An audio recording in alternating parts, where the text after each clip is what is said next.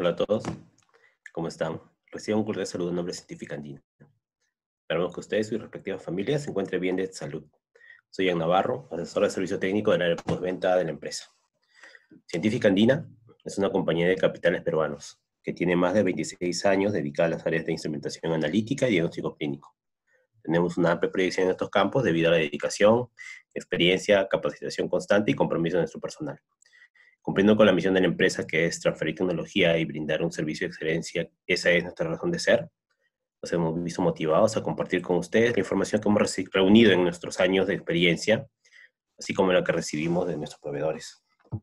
Nuestras marcas representadas son empresas líderes a nivel mundial, tales como Perkin Elmer, Milestone, Rudolf, Swan, Labtec, Hueca, entre otras, por lo que contamos con un amplio portafolio de productos que brindan soluciones para las necesidades analíticas y clínicas que puedan requerir los distintos rubros de la industria.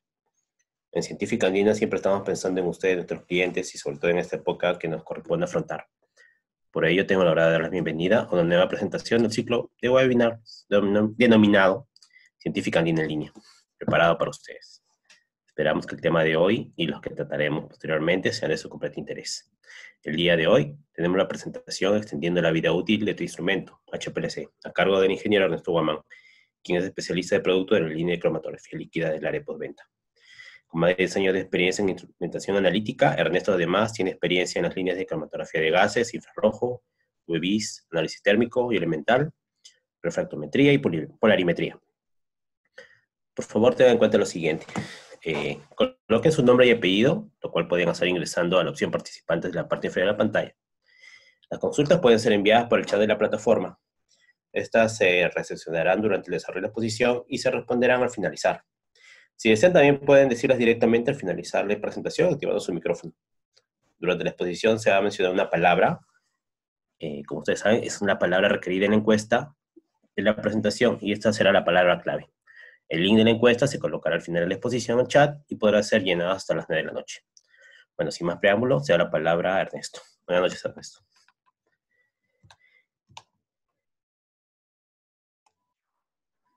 Buenas noches con todos. Tal como lo mencionó mi compañero, eh, el día de hoy vamos a hablar de lo que es extendiendo la vida útil de tu instrumento HPLC.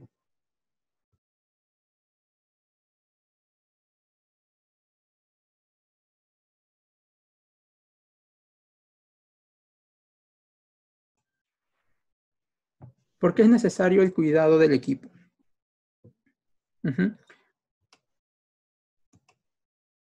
Bueno, uno de los motivos por el cual es eh, necesario tener eh, cuidado con el funcionamiento, eh, en el funcionamiento diario del equipo y mantenerlo en óptimas condiciones es justamente para asegurar su, su tiempo de vida útil y evitar la presencia de problemas que se nos pueden presentar. Y estos a su vez afectarnos de tal manera que tengamos una falta de exactitud o precisión en los resultados, inestabilidad en los resultados, inestabilidad de los tiempos de retención, hablando específicamente del HPLC, por ejemplo, o, una inestabilidad también en lo que es la presión de la bomba y sus consecuencias.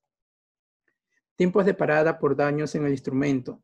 Si se produce algún, algún inconveniente con alguno de los módulos que componen el HPLC, en consecuencia va a ocasionar que no pueda realizar su análisis programado para, para tal día. Y, no y, esto ocasiona una parada definitivamente de su, eh, de su rutina de trabajo. Parada del equipo por falta de consumibles.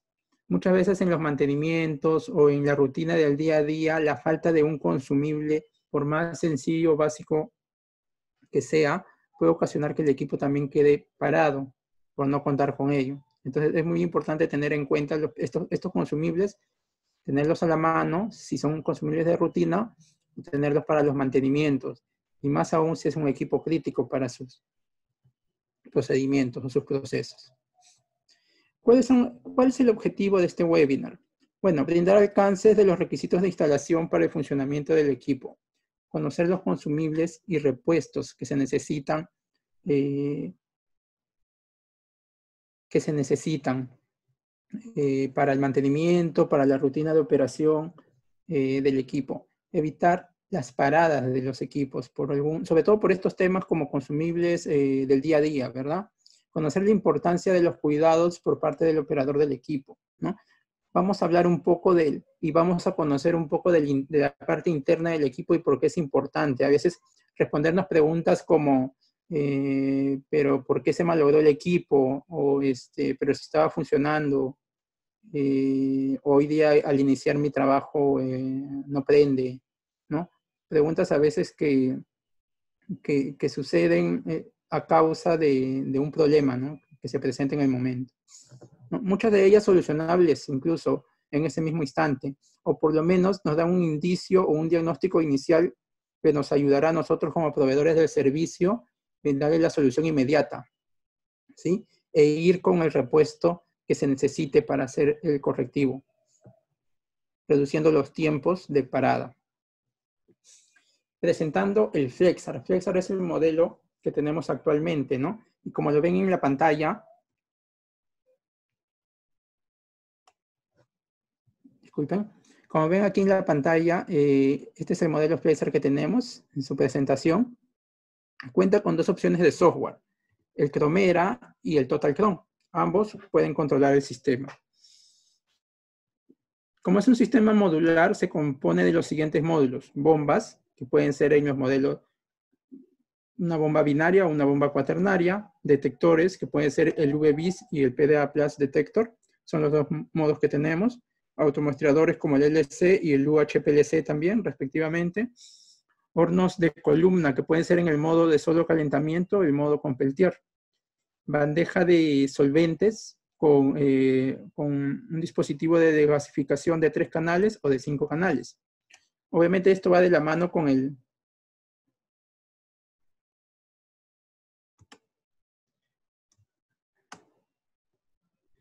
Eso va de la mano Eso va de la mano con los, canales que va a usar la bomba también, ¿verdad? Módulos que componen el, HPLC Flexar. Bueno, vamos a mencionar e identificar cada uno de los módulos que los componen. Tenemos la, plataforma de suministro de solventes, ¿sí? Donde está la bandeja que contiene las botellas de solventes. Eh, tiene una capacidad de 4 a 5 botellas de un litro el automuestreador Flexar. ¿Sí? La bomba, el horno y el detector. ¿Qué cuidados debemos de tener? Bueno, se parte desde los requisitos de instalación. Los requisitos que nosotros recomendamos para la instalación y puesta en marcha del equipo, sobre todo cuando este es adquirido como nuevo deberían de mantenerse a lo largo del tiempo y siempre mantenerse en, en constante vigilancia. Ello es importante porque de eso depende el buen funcionamiento del equipo a lo largo de su vida útil, que es el objetivo de este webinar. Conocer esos pequeños detalles que harán de nuestro equipo un instrumento confiable que esté disponible en todo momento. Para ello necesitamos contar con una línea estabilizada de 220 voltios con una tolerancia de más o menos 2%, estamos hablando de 4 voltios en promedio. Libre de transitorios, 50 voltios pico a pico. Nosotros verificamos en cada mantenimiento que el voltaje entre neutro y tierra sea menor a un voltio, que, que es el que podemos apreciar entre estos dos terminales. Pero también hay un detalle adicional el pozo a tierra debe tener menor a 10 ohmios. ¿sí? Eh, estos dos puntos del pozo a tierra y el libre de transitorios es un punto a tener en cuenta por su área de mantenimiento, probablemente, o por un proveedor que tengan de, revisión del área eléctrica, ¿verdad? Eh, a veces no se presta atención mucho a este detalle, pero hay que tener en cuenta que una de las principales fallas de, componentes electrónicos que, es conocido son el tema eléctrico y el otro es la acumulación de polvo, ¿no? Muchas veces por falta de mantenimiento. Otro requisito de instalación a tener en cuenta dentro de lo que es requerimientos eléctricos es el consumo, la potencia consumida por el equipo o por el sistema que está compuesto por diversos módulos. Teniendo en cuenta el consumo de cada módulo, hacemos una sumatoria y obtenemos un aproximado de 650 watts de potencia de, en promedio de consumo, ¿no? Considerando la tolerancia eh, necesaria de, potencia, podríamos considerar que un estabilizador de 2 kVA o un transformador de aislamiento de 2 kVA con UPS puede ser suficiente para, para garantizar eh, la operatividad del equipo, sobre todo cuando hay eh, caídas de tensión, ¿no? O se pierde el voltaje y te permite hacer un adecuado apagado del sistema. De igual manera, son recomendaciones que nosotros brindamos, pero que siempre va, va a ser el, el cliente, en este caso ustedes, quienes tomen la decisión y evalúen si, si lo requieren eh, para corregir alguna, alguna observación en los requerimientos que solicitamos en la instalación de los equipos, ¿verdad? Bueno, aquí pueden verlas en, imágenes, eh, parte de los procedimientos que realizamos como inspección en cada visita de mantenimiento, en, la, en las visitas de preinstalación, eh, que medimos el voltaje, que sea estable, que se mantenga a lo largo del tiempo que estamos ahí. ¿Sí? Eh, ello nos dará un indicio de que la línea eléctrica está por buen camino y que está operando. Si hubiera algún, alguna observación o algo, ya se tendría que hacer un análisis más especializado por, el, por una empresa proveedora del mismo. ¿no? Requerimientos del área de trabajo. Sistema de, adecuado de ventilación.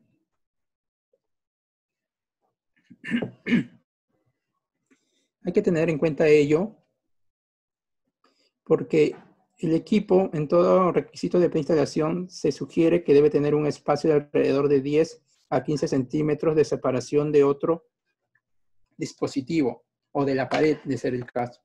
Ello para que tenga un adecuado flujo de, de aire, ¿sí? Y permita la ventilación o el enfriamiento de los componentes internos del equipo. Debe estar libre de polvo, humo, vapores corrosivos. Todos sabemos que si hay cerca equipamiento que produzca corrosión eh, o que trabaje con ácidos puede ocasionar corrosión en los componentes del, del HPLC y empezar a ocasionar deterioro que ya no tiene eh, forma de, de, recuperarse. ¿no? Una vez iniciada la corrosión, ya el equipo empieza a degradarse, sobre todo las piezas metálicas y algunos componentes como tarjetas electrónicas.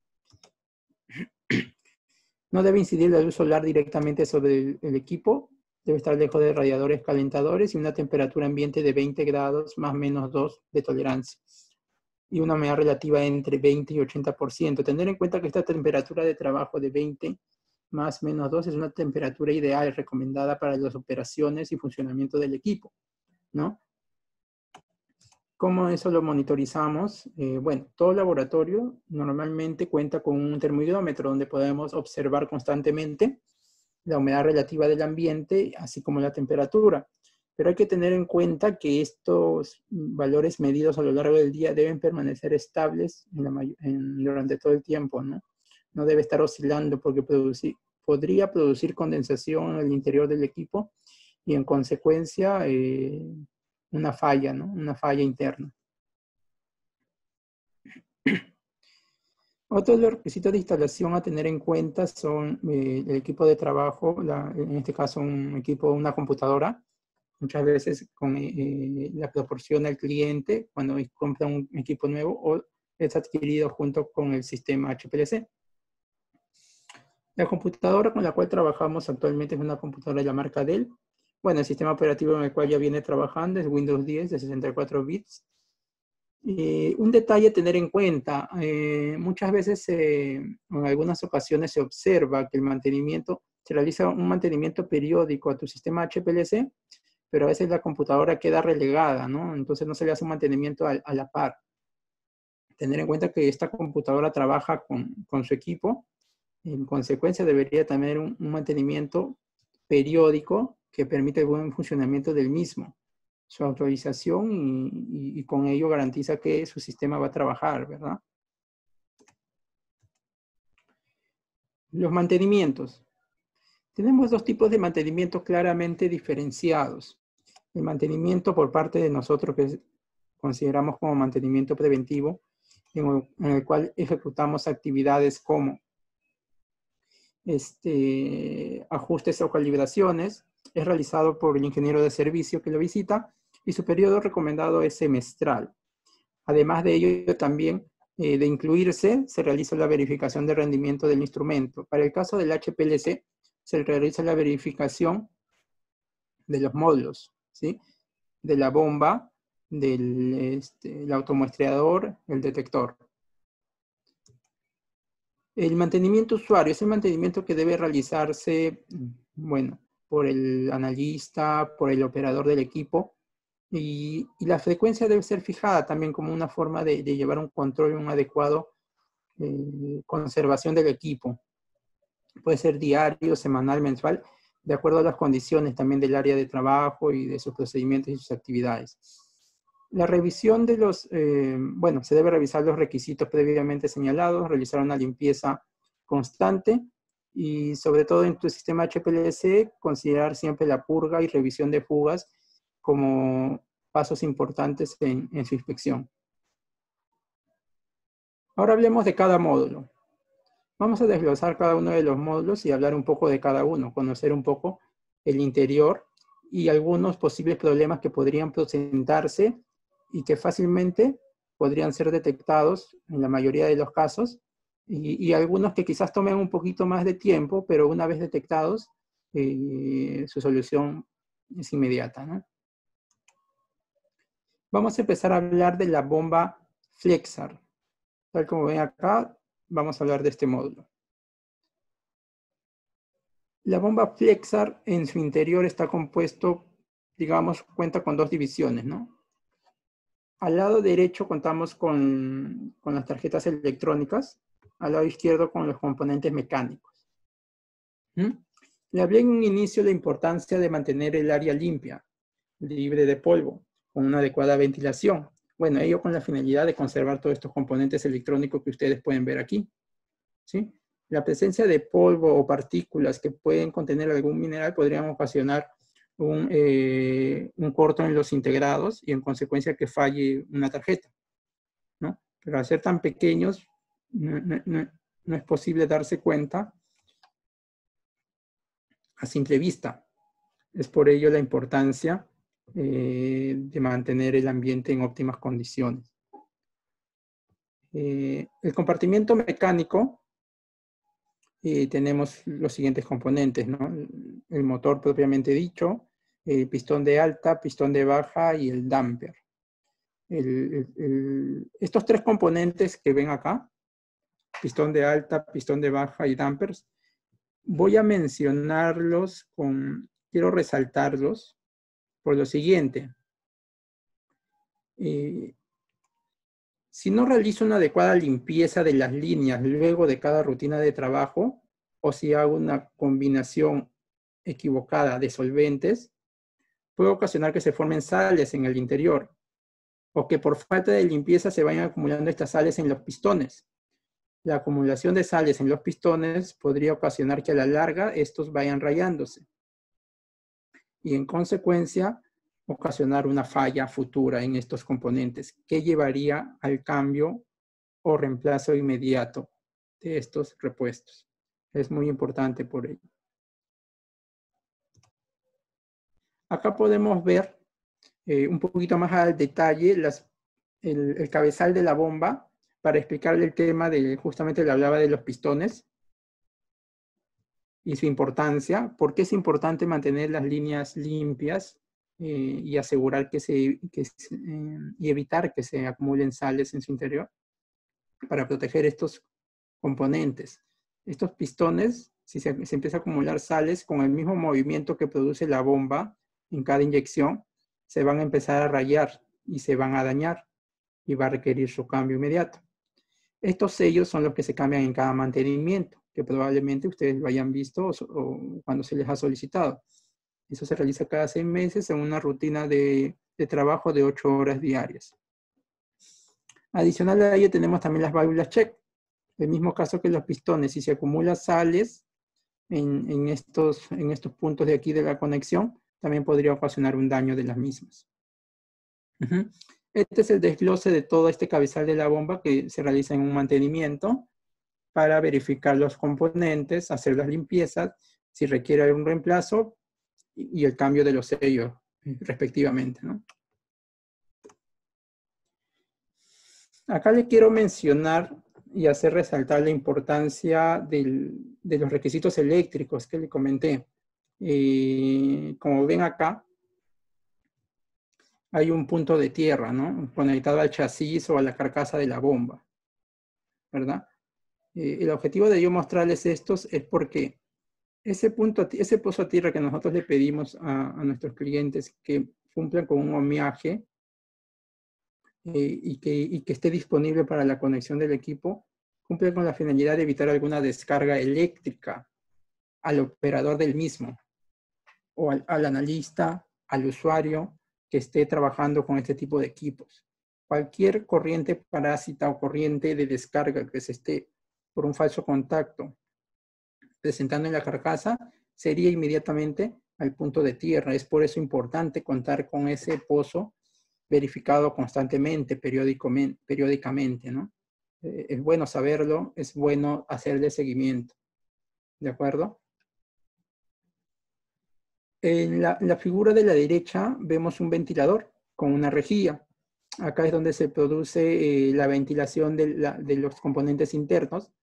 La importancia de que el área de trabajo esté libre de polvo, la mesa de trabajo esté libre de polvo, evitará de que ese polvo, a consecuencia del movimiento del ventilador, ingrese en una mayor proporción al interior. Y como les comenté, el ingreso de este polvo puede significar fallas futuras en componentes electrónicos. Si queremos evitar paradas por fallas electrónicas, bueno, hay que reducir las probabilidades teniendo en cuenta estos consejos. Otro componente que les quiero mencionar y quizás tenga que ver con alguno de los problemas que se le hayan presentado en algún momento. Tengo, por ejemplo, la bomba Flexar tenemos con la válvula de composición. Bueno, ustedes se preguntarán a qué me refiero. Ustedes trabajan con diferentes botellas. Pueden ser cuatro, pueden ser dos. Si son dos botellas, se refiere que tienen un, eh, bueno, tienen una bomba binaria o cuatro botellas de solventes para una bomba cuaternaria.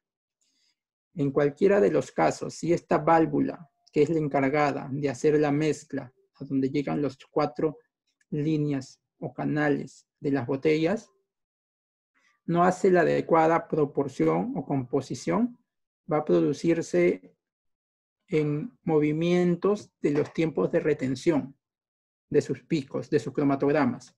¿Qué quiero decir con ello? Que cuando ustedes están este, acondicionando el sistema, de repente está yendo en un sentido, vamos a decir hacia la izquierda, llega un momento que se regresa. Y está en ese vaivén constante, ¿no? Que va a un lado, avanza, retrocede, avanza, retrocede. Ahora, si bien todos los módulos están interconectados y las causas podrían ser distintas, una de las principales que se podría manifestar es a consecuencia de la falla de este componente, que es la válvula de composición. Ahora yo me pregunto, ¿cómo, cómo puedo darme cuenta, no? ¿Tendré que llamar a servicio técnico para saberlo o puedo darme cuenta yo? Bueno, yo les diría que ustedes mismos podrían hacer una simple prueba si pasan por ese problema y quieren evitarse ese inconveniente de estar haciendo pruebas y, afectándole quizás en que no logre acondicionarse adecuadamente, preparan, si están usando una mezcla, preparan la mezcla, la hacen ingresar por una única botella, la mezcla preparada, y por un solo canal, al 100%. Si eso corrige el problema, es prácticamente seguro que la falla se está dando en el tema, en el mezclado de la válvula de composición. Con esa información, nos las podrían transmitir a servicio técnico, esa prueba que hicieron, y nosotros daríamos por hecho de que tendríamos que cambiar. Bueno, haríamos una visita para confirmarlo simplemente, pero iríamos con el repuesto eh, que podría solucionar en, gran medida el problema, ¿no? Entonces, eh, eso es una, sugerencia que les doy. De igual manera en la válvula binaria, ¿no? Obviamente hay menos, menos puertos de ingreso y salida, pero se haría la misma. Entonces, es una forma de darse cuenta, es una de las causas que podría eh, eh, presentarse en corrimientos de tiempos de retención. estoy dando por hecho de que la bomba está trabajando correctamente con presiones eh, adecuadas y con flujos correctos, ¿verdad? Entonces, si es así, sospecho de este componente. Ahora paso a hablar de la bomba. Esta es la bomba Flexar. Es la parte frontal, como pueden apreciar. Tiene dos puertos A y B. Y, vamos a trabajar, eh, bueno, es una rutina probablemente de trabajo de ustedes. Así que vamos a recordar un poco. La purga de la bomba, como pueden apreciar acá, consta de una válvula de apertura o cierre. Esta válvula, si la giro en sentido antihorario, ¿sí? Sentido antihorario, se abre. Una vez abierta, ingreso la jeringa, activo el sistema a un flujo, este, le voy incrementando un flujo a 100% cada canal. Eh, hago ingresar, eh, pasar este, el solvente y voy succionando con la jeringa hasta eliminar las, las burbujas.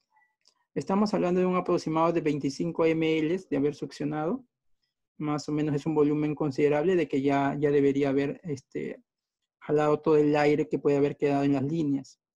De igual manera, este, hay que asegurarse por completo de que las botellas estén correctamente con el nivel que se, que se necesita. Y hacer esto para todos los canales, ¿de acuerdo? Eh, y, reducir esa probabilidad que su equipo falle por temas de burbuja. Otra forma de darme cuenta que tengo un problemas en la bomba, aparte este, de la burbuja, es, por una oscilación de la presión. Si su, presión de trabajo está oscilando más de 20 PSI, eh, bueno, vuelvo a repetir, pueden ser varias causas porque los módulos están interrelacionados, pero empezamos por la más cercana, ¿no? Que sería uno, presencia de burbujas eh, que, estén teniendo ahí en las líneas y esto esté manifestándose en variaciones de, la presión. Otro puede ser eh, ya otro, componente, como el damper. El damper viene a ser este dispositivo de acá. ¿Sí?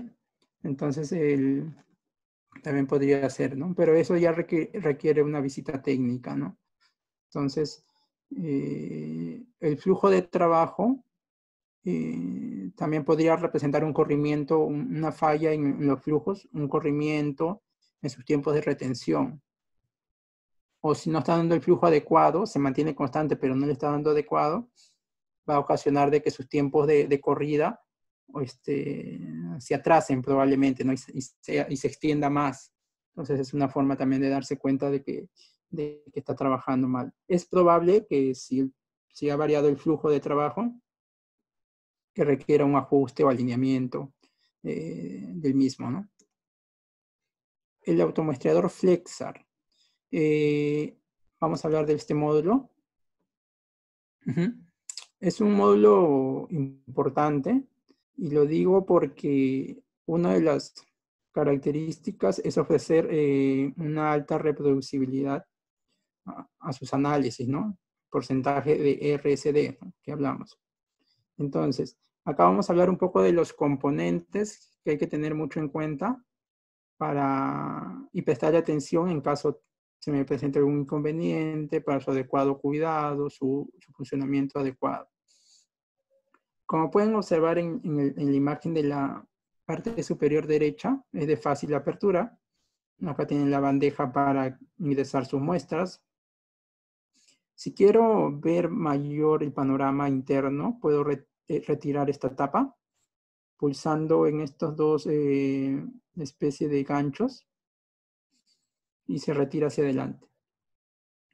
En el interior, en esta sección de aquí, bueno, se ve oscuro, voy a encontrar un dispositivo que acá está esquematizado, que contiene la, la jeringa de lavado y muestreo, la aguja de inyección, la válvula eh, con el rotor seal, ¿sí? Y el loop demuestra que estándar viene en, este sistema de 100 microlitros. ¿De acuerdo? Todo este sistema es responsable de la reproducibilidad de su equipo. ¿Sí? Y de la toma de muestra adecuada también.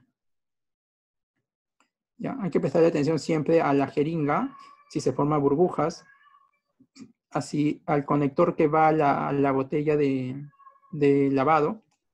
El equipo tiene, la botella de lavado va interconectada a esta válvula, ¿de acuerdo? Eh, esa botella de lavado hay que asegurarse, uno, que tenga el solvente de lavado adecuado, que la tubería no esté estrangulada y que no esté ingresando burbujas por esa línea.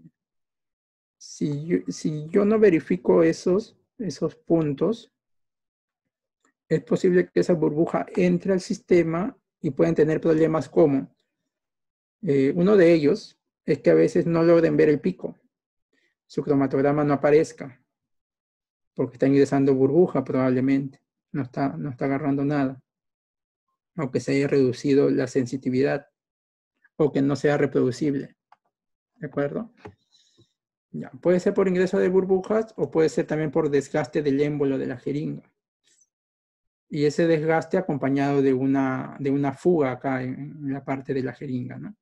Entonces, este, esta jeringa es un consumible, eh, este, va a depender también de, no, es que tenga un tiempo periódico, pero va a depender mucho de la rutina de trabajo, cuántos días está va a trabajar con el equipo, para empezar a establecer una frecuencia de cambio, ¿no?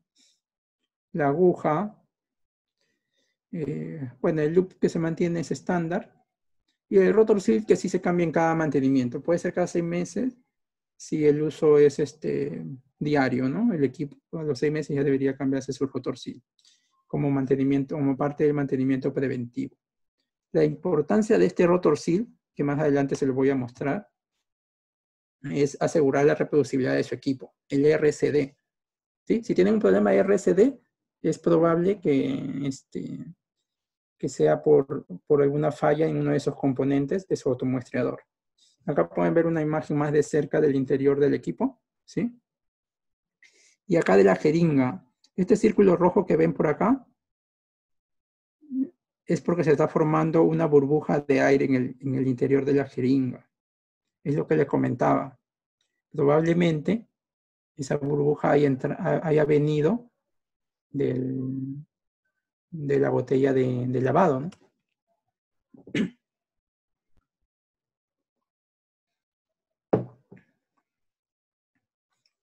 ¿Cómo me doy cuenta? Aperturando eh, la tapa del, del automuestrador. Quizás con una linterna mm, puedo ver ya más de cerca, ¿no?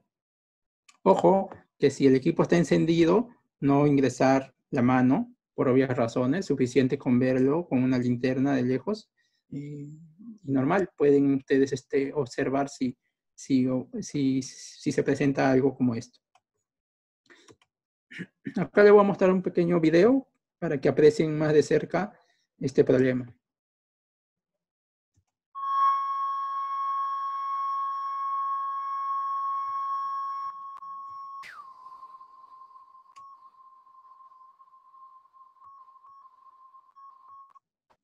Si se, pueden dar cuenta, acá ya ingresó la burbuja a la jeringa.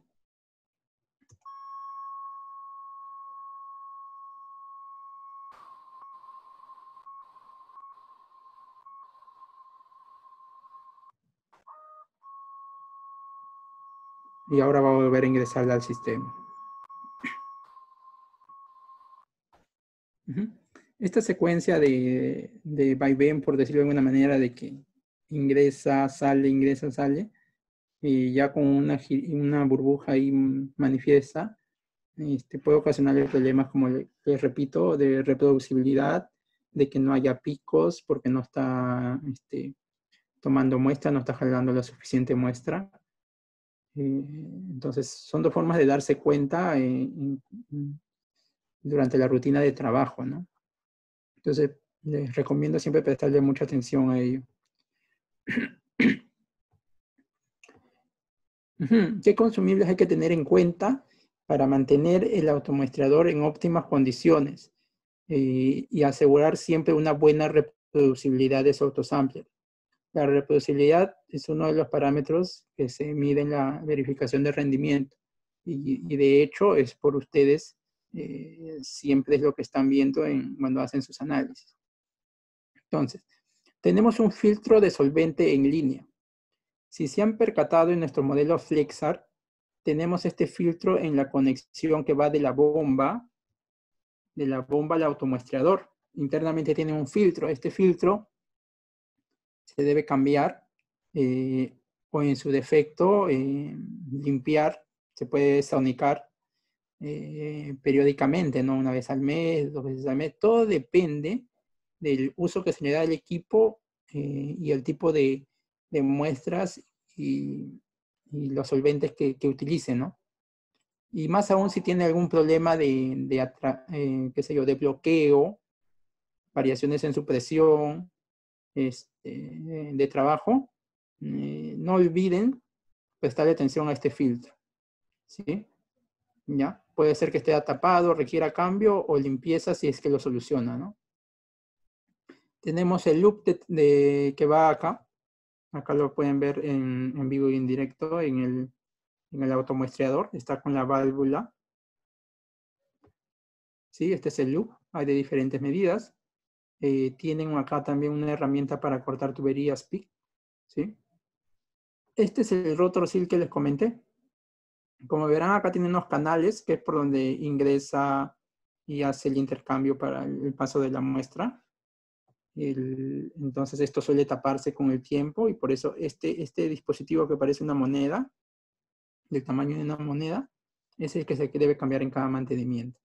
Tenerlo muy en cuenta. Y acá pueden apreciar la aguja de, inyección en la, en la figura de la, del lado derecho. Bueno, aquí hablando un poco más de cerca lo que es un cromatograma, tenemos el pico del terbutilbenceno y esperamos en una secuencia de 10 eh, repeticiones, la mm, RCD menor.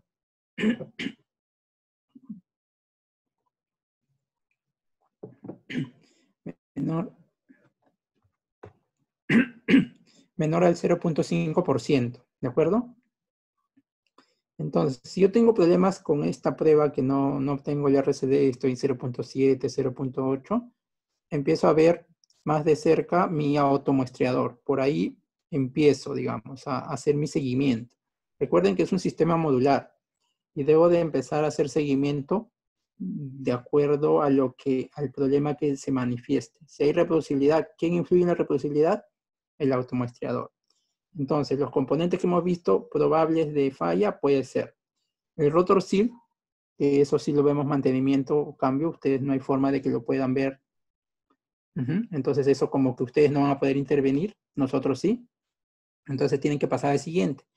Eh, la jeringa, la jeringa sí la pueden ver, sí pueden observar si hay burbuja o no, o si hay fuga. A veces la fuga no se manifiesta a simple vista porque el líquido es transparente, pero quizás si le ponen un, eh, un papel en el, en el, entorno del émbolo, pueden ver si se, si se moja este y, si está viendo fuga también. ¿no?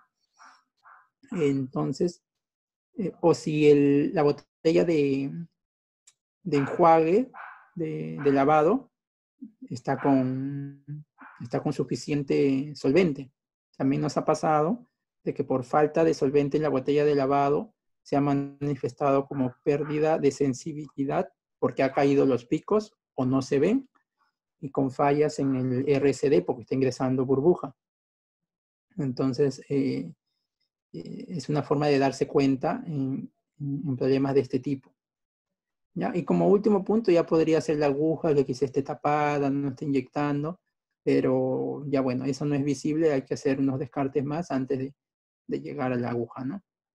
Entonces, es lo que le, le sugiero en cuanto a ello. También les había comentado de corrimientos de tiempo de retención.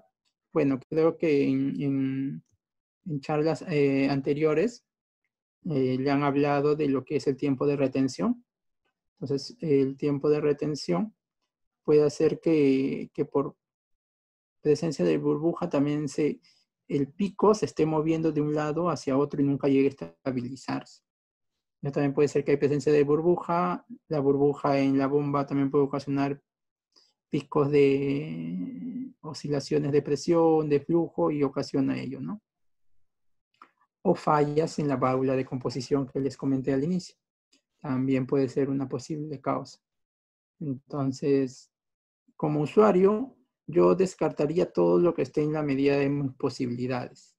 Si es burbuja, lo puedo solucionar inmediatamente y no demandarme mucho tiempo, ¿no? Eh, este, y, bueno, continuar con mi trabajo del día. El detector UV-Vis es el otro módulo que vamos a hablar.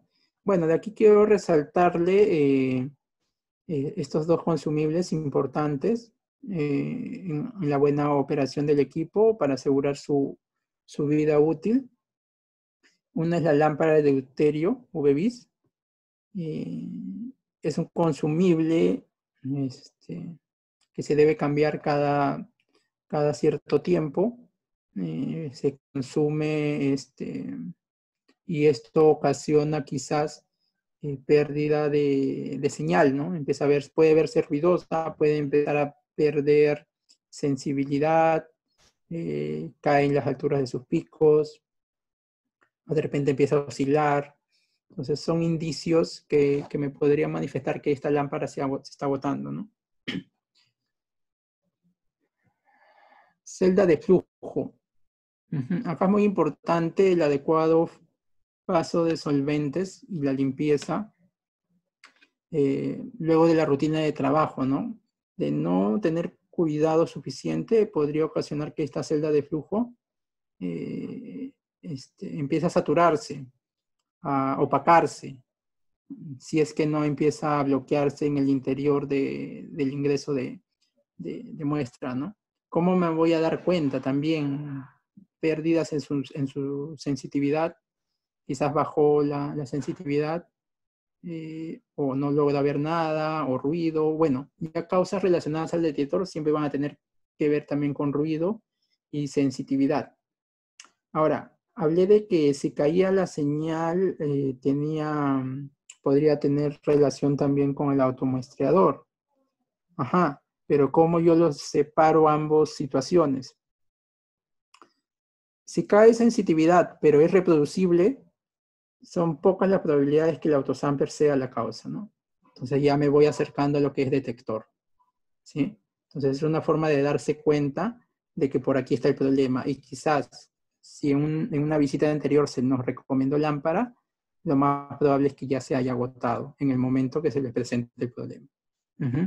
Pero si estuvo trabajando y de repente cambiaron la metodología, cambiaron solventes, eh, botellas de solvente o ingresaron erróneamente un solvente y se les ocasionó un problema repentino de que no ven nada, eh, no descarten de que por ahí este, se ha saturado acá la, celda, ¿no? Entonces hay que hacer una limpieza correcta con los solventes adecuados. Todo va a depender de lo que hayan estado utilizando, ¿no? Y, y tratar de y esperar que se solucione, ¿no? Si no, ya tendrían que contactarnos para una revisión ya más, más detallada. Para hablar del detector PDA Plus, es un detector de arreglo de diodos, es un fotodetector. También este quería resaltar un poco la importancia de la limpieza, al igual que todos los módulos tienen componentes electrónicos, es muy importante mantener el área de trabajo limpia, el entorno, la mesa de trabajo ventilada, dejándole el espacio suficiente alrededor de los módulos para que trabajen adecuadamente.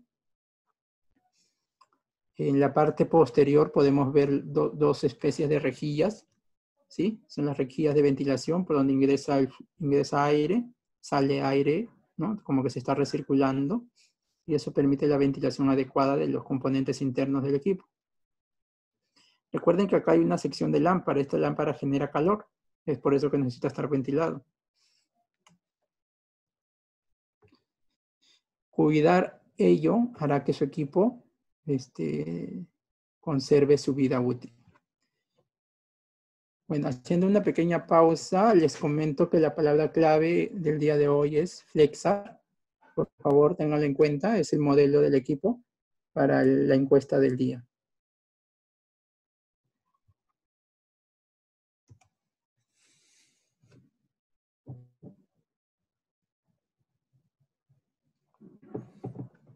Bueno, continuando con el detector PDA vemos acá en la, en la parte frontal la, presencia de la celda de flujo, es como una especie de cassette, se retira fácilmente con, con un puerto de entrada y salida mediante un conector este, este, NAT, ¿sí? de teflón y, dos tipos de celda de flujo que pueden utilizarse, de flujo de, de paso de luz de 10 milímetros y de 50 milímetros para mayor sensitividad. Pueden apreciar acá la lámpara de deuterio. Obviamente la tapa está abierta, tiene una señal de advertencia que hay alta temperatura, hay que tener mucho en cuenta eso.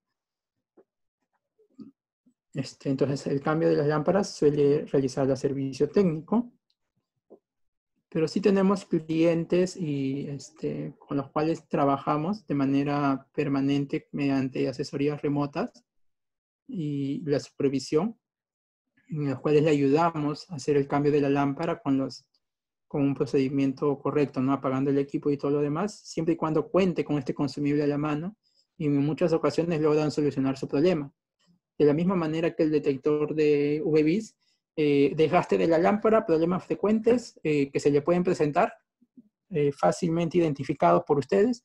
Puede ser ruido, caída de, sensitividad o sus picos se, empiezan a ver ruidosos. Los cromatogramas, la línea base. ¿De acuerdo? Entonces son, son problemas frecuentes de, de este desgaste de la lámpara, ¿no?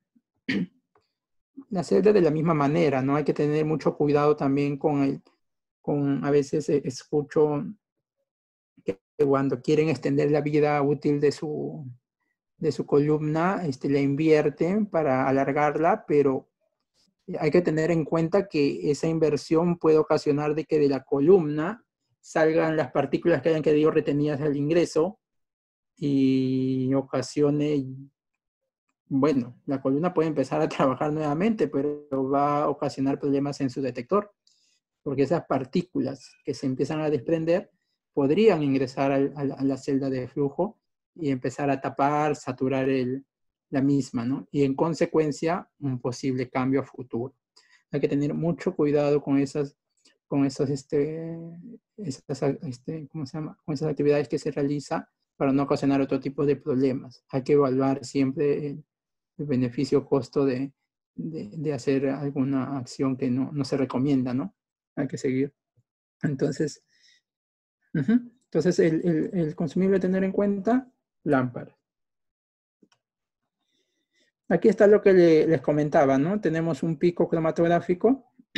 Vamos a decir que este es un pico normal, bien formado, una línea base, bueno, está amplificado, una línea base aceptable, y uno de baja sensitividad, cayó la señal, pero además de ello hay ruido, porque la, presencia del pico está ruidosa. La presentación del pico está con ruido, está más amplificado. Entonces es una posible forma, o es una forma de darse cuenta de, que su lámpara se esté desgastando. Nunca se descarta la celda por completo. Ojo, hay que ir viendo dos cosas. Lámpara, empieza a sospechar de lámpara y empieza a ver el registro el registro de, de cuándo fue la última vez que cambié lámpara y cuántas horas puede haber sucedido este, y, ya considerarse su cambio, ¿no? El horno Flexar, otro de los módulos importantes de, este sistema. Bueno, esta es la parte frontal del horno. Eh, hay que asegurar una adecuada limpieza, estabilidad de temperatura ambiente, hay que mantenerlo con la puerta siempre cerrada. Recuerden que este es un área de calentamiento. Eh, de no tenerlo cerrado puede hacer de que no lleve un adecuado control y se podría dañar la resistencia. Inspeccionar fugas en las conexiones donde va la columna. Eh, la unidad de solo calentamiento va entre 30 grados y 90 grados y la unidad Peltier de 5 a 90, es decir, unos 15 grados por debajo de temperatura ambiente. ¿Y a qué me refiero con estabilidad de temperatura del ambiente? A que, por ejemplo, sabemos que este módulo trabaja de 30 a 90. Si mi temperatura ambiente está en 30 grados eh, o está inestable, este módulo no va a poder bajar o mantener esta temperatura de trabajo, por más que su especificación técnica lo indique, no va a poder. El consecuencia, nunca va a estar listo este módulo y si está en línea con todo el, demás, con todo el sistema, nunca va a arrancar su secuencia. Su secuencia de trabajo, porque no está listo. Eh, entonces, siempre hay que tener en cuenta ello. Temperatura recomendada en un área de trabajo debe ser 20 grados más menos 2. Con eso me aseguro de que el módulo va a, trabajar a los 30 grados si lo requiero, este, como parte de mi método de, trabajo. hay que tener en cuenta eso. Este es el compartimiento uh, de conexión de la columna. Este extremo va al detector y este es el ingreso al intercambiador de calor, ¿no? Luego el ingreso a la columna del panel frontal. Esta es la vista posterior del horno. Recuerden siempre tener presente todo equipo electrónico. En este caso estamos hablando de la HPLC, tiene unas rejillas o, ingreso de aire. Entonces acá tiene el ingreso de aire natural y acá tiene ya un recirculador, un ventilador que hace mantener la temperatura homogénea en toda esta cavidad. Tiene su conector de, eh, de, comunicación, ¿no?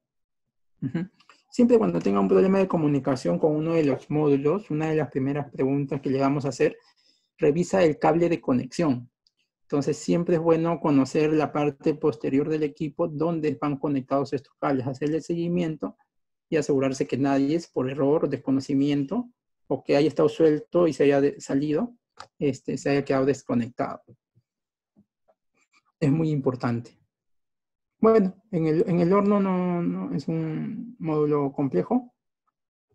No he tenido mayores problemas en, relacionados, eh, este, ¿cómo se llama? Como consecuencia en, un análisis, El único, el que le manifesté el tema de la estabilidad de la temperatura ambiente y después de ello eh, no, no muestra mayores inconvenientes. Bandeja de solventes. Eh, esta es la bandeja de solventes del, Flexar. ¿sí?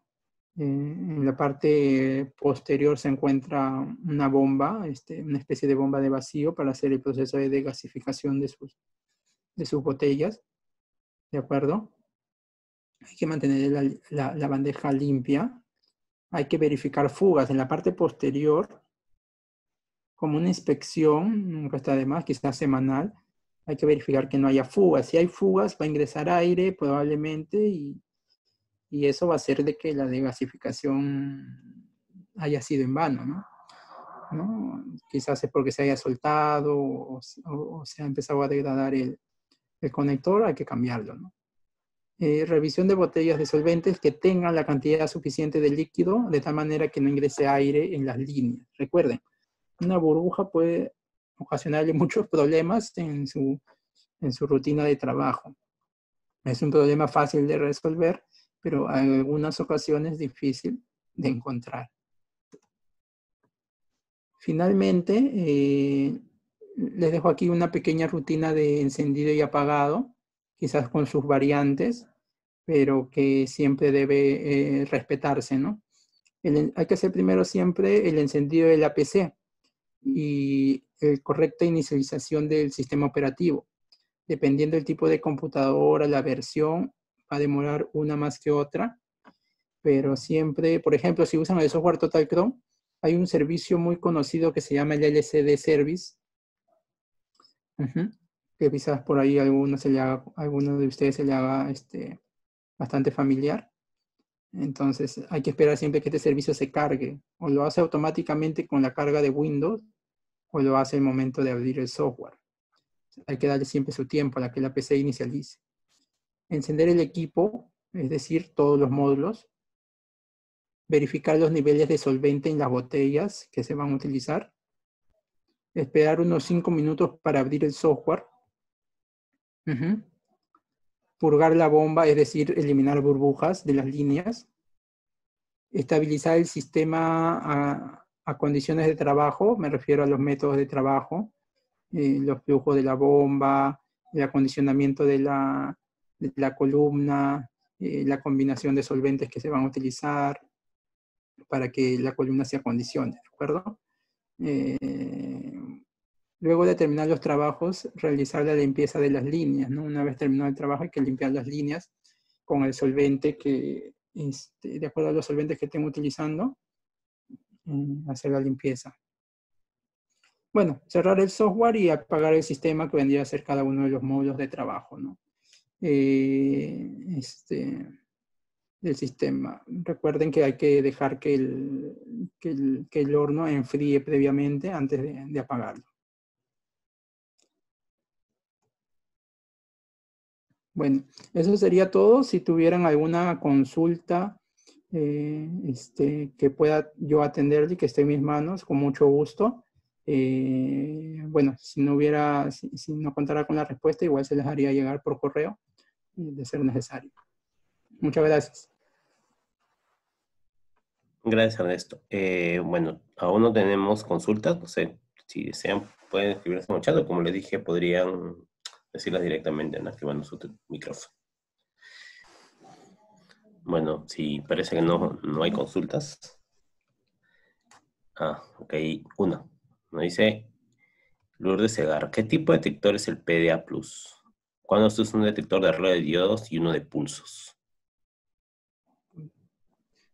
Mm, ya, el, el detector de PDA es un detector que usa este, fotodiodos, ¿sí? Y bueno, mm, si quiero ver todo un espectro a diferentes este, longitudes de onda para identificar la, longitud de, un, trabajo de investigación, es el, es el, detector ideal, ¿no? A diferencia de un VBIS, que es el otro modelo que tenemos, eh, que es una longitud de onda específica de, de trabajo, ¿no? No puedo ver. Entonces, en el, en el detector de arreglo de diodos yo puedo trabajar de dos maneras, como longitud puntual, una sola longitud de onda, o como arreglo de diodos que son varias longitudes de onda y le, hago un análisis del espectro. Hay, hay, herramientas para hacer el análisis del espectro. Bueno, no olviden de que las presentaciones están siendo grabadas y que van a ser colocadas en, nuestra, nuestro canal de YouTube ahí están dejándose las grabaciones de las presentaciones, de los webinars. Y bueno, también pueden ingresar a nuestra página de Facebook, de LinkedIn, a la página web de Científica Andina también, para poder este, eh, ver información de los productos que comercializamos. Bueno, si no hay más consultas, eh, me voy despidiendo. Gracias por su atención y hasta la próxima oportunidad. Muchas gracias eh, a todos por, su, por su atención y hasta, hasta la próxima.